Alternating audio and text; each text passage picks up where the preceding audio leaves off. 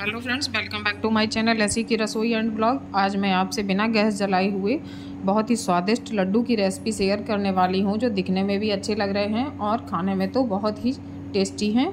तो आप देखिए, ये मैंने ढाई सौ ग्राम पनीर लिया है। आप पनीर की मात्रा को कम या ज़्यादा कर सकते हैं। अब इस पनीर को आप चाहे तो कद्दूकस भी करके डाल सकते हैं। मैंने हाथों की सहायता से इसको क्रश किया है। ये आधा कप काजू है। इनका एक फाइन सा पाउडर तैयार कर लेना है। मिक्सी के जार में डालकर पल्स मोड पे चलाएँगे। तो इसका एक फाइन सा पाउडर तैयार हो चुका है। अब जो पनीर है, इसको क्रश कर लेना है हाथों की सहायता से। मसल मसल के अच्छे से इसको एक डो रूप में तैयार कर लेना है। तो इसको अच्छे से मसल लेंगे जिसमें, इसमें कोई भी लम्स वगैरह ना हो, कोई भी गुठली ना रहे इसमें। तो इसको अच्छे से मसल कर लेना है। तो आप देख पा रहे होंगे, हाथों की सहायता से मैंने इसको मसल लिया है। अब इसमें डाल देंगे काजू का पाउडर जो हमने मिक्सी से बना कर रखा है। इसको छान के डालना है, जिससे छान के डालने से एक फ़ायदा होगा जो इसमें बड़े बड़े चंक्स कुछ रह जाते हैं काजू के, वो निकल जाएँगे। तो ये निकल चुके हैं चंक्स इनको निकालने के बाद काजू और पनीर को मिक्स कर लेंगे। मिक्स कर लिया है मैंने इसको अच्छे से। अब डाल देंगे आधा कप पिसी हुई चीनी। आप पिसी हुई चीनी की जगह पर बूरा भी डाल सकते हैं। मेरे पास बूरा नहीं था तो मैंने इसमें चीनी का प्रयोग किया है। तो अब इसको भी मिक्स करना है अच्छे से। हाथों की सहायता से बहुत ही अच्छे से और इजीली मिक्स हो जाता है।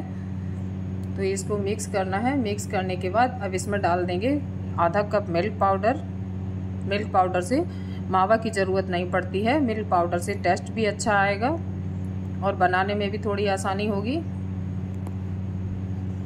तो ये आप देख सकते हैं, मैंने इसमें मिल्क पाउडर को भी मिक्स कर दिया है।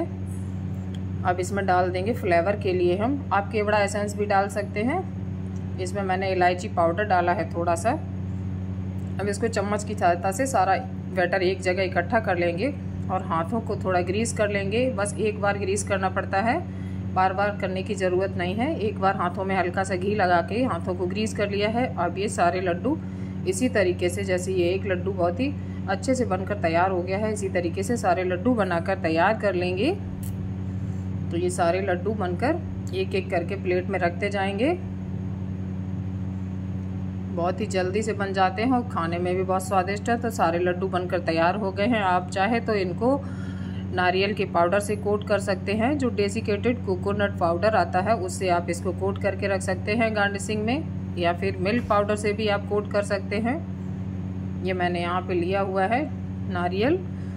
पाउडर इससे मैंने इसको कोट कर लिया है। अब इसको एक प्लेट में सर्व कर लेंगे। बहुत ही टेस्टी लड्डू बनकर तैयार हुए हैं। अगर आपको लड्डू का वीडियो अच्छा लगे तो प्लीज़ वीडियो को शेयर करें, लाइक करें चैनल को सब्सक्राइब करें।